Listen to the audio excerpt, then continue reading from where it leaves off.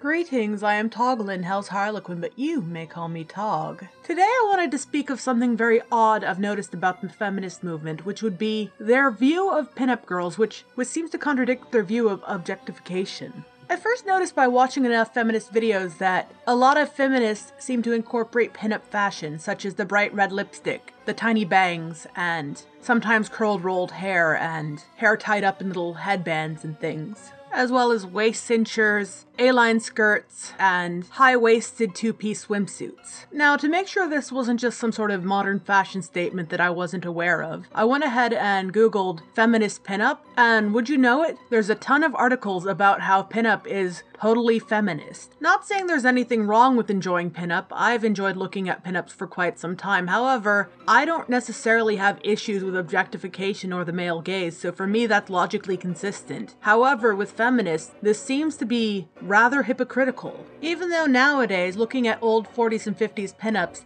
doesn't seem nearly as scandalous as it used to. Back then, they were created to be sexy, so therefore, according to feminist logic, shouldn't they be classified as being created to be objectified? I don't understand the double standard. They will freak out over a girl in a bikini selling you burgers, yet cut her bangs short, give her some tattoos, and make it a vintage bikini, and all of a sudden it becomes okay. In fact, it becomes rebellious and feminist, weirdly enough. Although I'm not the only one who sees this as an obvious double standard, there seems to be a war amongst feminists on whether or not pinup is okay or not okay. One of the stories I will link in the low bar is of a feminist defacing a mural of Bettie Page that someone had painted on the side of their house. Now the funny thing is, the person who had Bettie Page painted on their house was another feminist. Then again, if it wasn't for double standards, I don't think feminists would have any standards. Attempting to draw my avatar in a classic pinup girl pose for this video. However, I now realize that my avatar really isn't sexy. This just looks more awkward. Oh well, I hope you find it cute. Now before I go, uh, there's something I wanted to ask my lovely audience. Has someone been flagging my negative comments? Just last week I got a rather silly and negative comment on one of my BPD videos. Well, my BPD videos are the only videos that actually get negative comments on them. I decided I'd reply with something snarky and then I realized the comment was completely gone. And this isn't a one-off occurrence, this has been happening for the last few months. I've noticed that I get random negative comments on especially my uh, silly video I did quite some time ago, things you shouldn't ask a person with BPD. And I look at the video again and most of the comments are gone. Or at least most of the negative comments. None of the positive comments disappear randomly like that. I'm not complaining, I'm just puzzled.